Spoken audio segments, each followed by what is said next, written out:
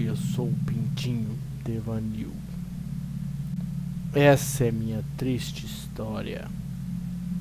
Eu sou um pintinho que nasci sem cu. Não podia comer repolho, nem batata doce. Mais um dia eu estava revoltado e comi repolho e batata e por não ter cu, eu explodi!